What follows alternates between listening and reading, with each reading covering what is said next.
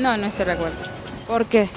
Porque creo que hay formas de poder solucionar todos los problemas que están, a- están presentes en el país.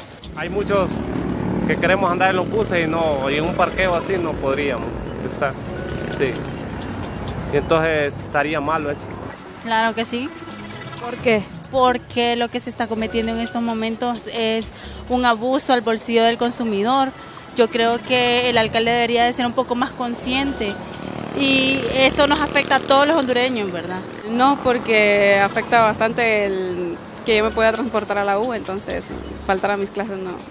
¿Usted apoya el paro de- en general del transporte que está convocado para el día de mañana? No, ¿Por qué? porque nos perjudica a todos los que transitamos en el transporte público. Yo sí lo apoyo porque eh, nos afectará un día a nosotros, pero igual, eh, yo tengo familiares transportistas, eh, también personas particulares que tienen vehículos y me parece un completo abuso el aumento que ha hecho más que todo el aumento municipal eh, en la matrícula. Entonces, sí, me parece perfecto porque eh, la verdad es exagerado el incremento que se le ha hecho a la, cuota. Yo creo que no, porque, mm, bueno, por una parte, pues ellos sabrán, va, porque piden sus derechos. Pero nosotros los que usamos transporte somos afectados. Y uno hay que caminar a pie. Si es que su conquista. Si es para bien, sí, pero si es para mal, no.